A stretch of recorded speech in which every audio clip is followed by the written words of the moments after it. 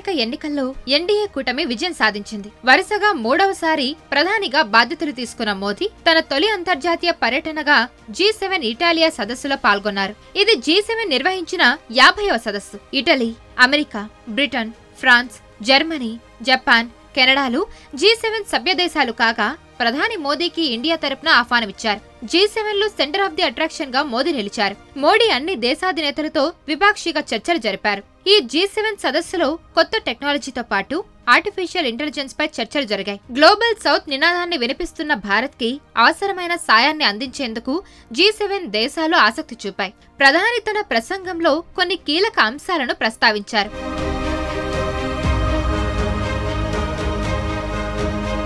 ఏఐను పారదర్శకంగా సులభంగా మార్చడంతో పాటు అందరికీ అందుబాటులో తెచ్చేలా అన్ని దేశాలతో కలిసి భారత్ పనిచేస్తుందని హామీ ఇచ్చారు. అనిశ్చిత పరిస్థితులు ఉద్రిక్తతల తాలూకు ఒత్తిడి గ్లోబల్ సౌత్ దేశాలకు సవాలుగా మారిందని మోదీ అన్నారు. గ్లోబల్ సౌత్ అనే నినాదాన్ని వివరిస్తూ ఆఫ్రికా దేశాల అభివృద్ధి సుస్థిరత భద్రత కోసం తాము కృషి చేస్తామని భవిష్యత్తులోనూ దాన్ని కొనసాగిస్తామని చెప్పారు. మొక్కలు నాటడం మహోద్యమంగా మారాలి. పర్యావరణ పరిరక్షణ కోసం భారత్ ప్రారంభించిన మిషన్ లైఫ్ గురించి మోదీ తన ప్రసంగంలో ప్రత్యేకంగా ప్రస్తావించారు. ప్రపంచ పర్యావరణ దినోత్సవం నాడు అమ్మ కోసం ఒక మొక్క అనే పేరుతో మొక్కలు నాటే కార్యక్రమాన్ని తాను ప్రారంభించిన సంగతి గుర్తు చేశారు. ప్రతి ఒక్కరూ పర్యావరణాన్ని కాపాడాలని మోదీ పిలుపునిచ్చారు.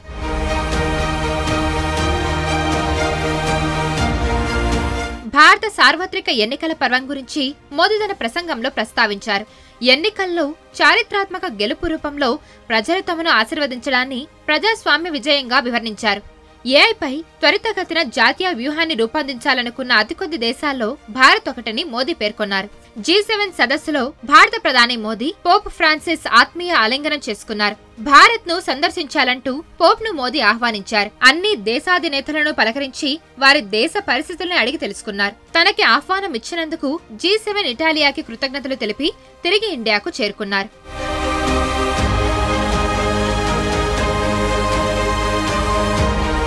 మరిన్ని వీడియోస్ కోసం ఛానల్ సబ్స్క్రైబ్ చేయండి. లేటెస్ట్ అప్డేట్స్ కోసం వాట్సాప్ ఛానల్ ఫాలో చేయండి. అండ్ లింక్ డిస్క్రిప్షన్లో ఉంది.